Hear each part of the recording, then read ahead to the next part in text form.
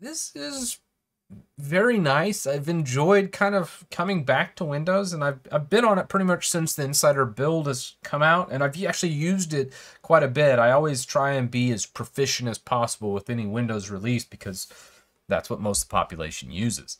So I, I want to be as proficient as possible. And I'm looking at this, there's certain things I, I did run into like a couple bugs with like some of the snapping, uh, which has actually been uh, off and on. Sometimes I run into issues with that. The UI itself, I would say this the thing that bothers me the most about Windows 11 right now is this new taskbar. They're using like UWP, and I've obviously done some extra modifications to get this kind of layout and look. Uh, but the UWP or the Universal Windows Platform, they've converted this from how it used to be. Uh, probably one of my favorite tools that I can no longer use on Windows 11 is uh, 7 Plus Taskbar Tweaker. You can see how they've converted so much of the legacy stuff. I think only the little jump menu right here. This is still using the traditional, which you can still modify and, and do some crazy stuff with. If you're on Windows 10, uh, by the way, check out 7 Plus Taskbar Tweaker. It's, it's really an amazing tool. But getting back to this, I will say this is probably the biggest gripe I have. Everything else from a day-to-day perspective, just getting around in Windows 11 has been pretty darn nice. I've enjoyed a lot of the experience. Uh, I've been using Linux a ton for this past couple years, pretty much since 2018 or the final part of 2018. And I've really started to, this past month or two, start to use Windows considerably more. And it's not that I don't use Linux because there's still a lot of tools in Linux that I really enjoy and, and still use all the time. It's just Windows has started to do something and use a lot of Linuxy stuff and this is going to sound like blasphemy, and you may want to throw tomatoes at your screen after I tell you this. But man, their integration with Linux has been pretty darn awesome. A lot of times I wanted something in Linux, I can just pull it up right here.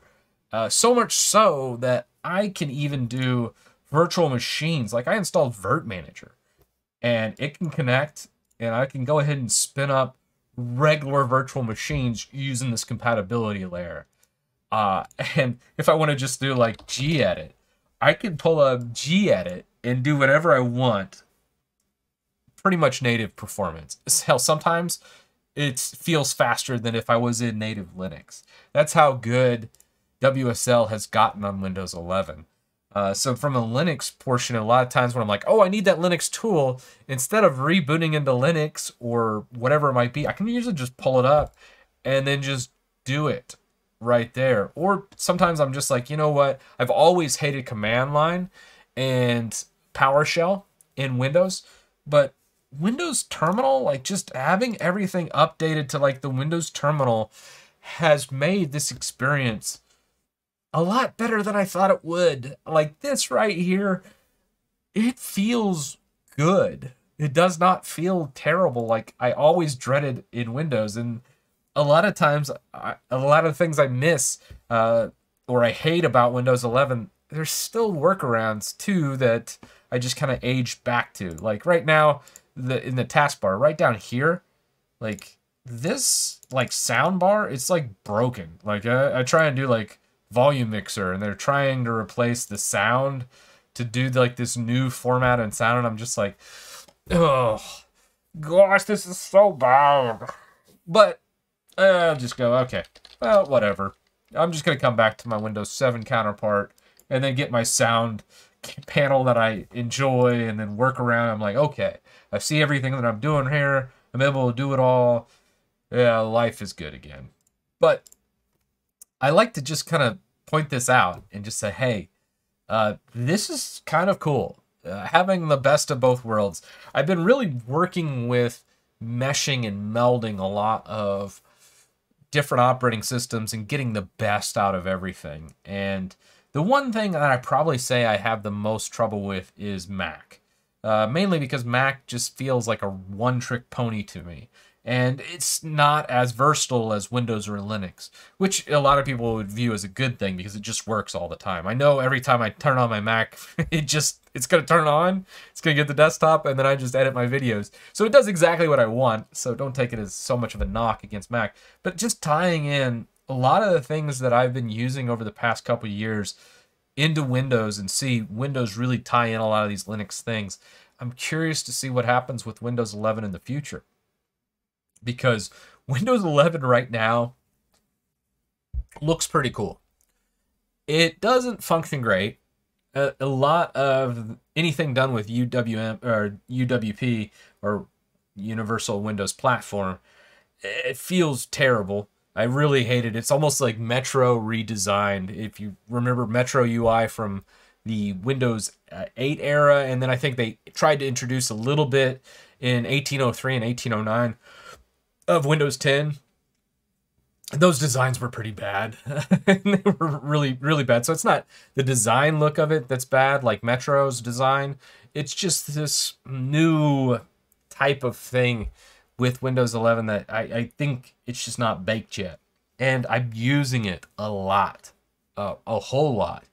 Anytime I, I'm going into the integration into Linux has been so much better than I ever thought it could be. And that's probably the biggest thing about this.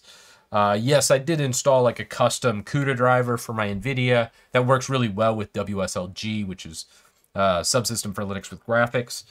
I really didn't expect it to be so integrated, and it feels like the Linux portion is the most polished out of everything in Windows 11. And to me, that's amazing. Like even when I have mess ups, like when I'm on my desktop here, and I'm like, okay, uh, the mouse movement and a lot of the tab movements I'm just not digging. But I don't really use the mouse much anyways. I'm usually just doing this number or if I need like a new desktop, I'll just flip over to here and then flip back. So I still have my, my virtual desktops like I would a normal one. And then I have a lot of like my auto hotkey stuff to emulate a lot of the Linux global hotkeys. So right now this is like the biggest Frankenstein mess but I feel like I'm getting close to a happy medium here as long as Windows patches a lot of the UI problems with UWP, which uh, we'll see. You know, I just want to give you my first impressions of it uh, for using it pretty hard for this past couple months. All the stuff that you know and love is still there. Some of it's hidden, but it's still there. I would just say the the feel of it is something that's interesting. And as someone that uses Linux a lot, the integration with Linux is probably the biggest selling point for me. And that's weird because I think I once made a video about how WSL could never convert a Linux user to Windows. And most people that use their computer because they want to be private or secure, that's still absolutely the case. Because with Windows 11, the spying and, and telemetry is just as bad as Windows 10. There's no improvements there. But most people just want to use their computer to get stuff done. And that's where I'm at. Obviously, I don't, I'm, I'm not a private person. I'm on YouTube. But it is something that I'm looking at. I'm like, dude, this is, this is neat. This is really taking and meshing it, uh, much like I did with Chrome OS on the main channel. And I was talking about how integrating Arch Linux into that, and you can do a lot more with Chrome OS with that uh, installed. And a lot of the improvements they're doing is just mind boggling.